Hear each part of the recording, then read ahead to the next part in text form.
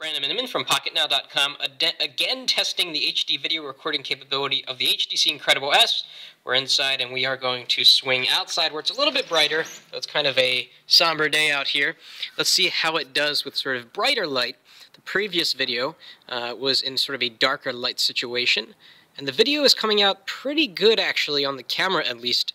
Uh, curious to see what it looks like on YouTube, blown up to the full 1280 by 720 resolution. So let us know how the video looks in the comments.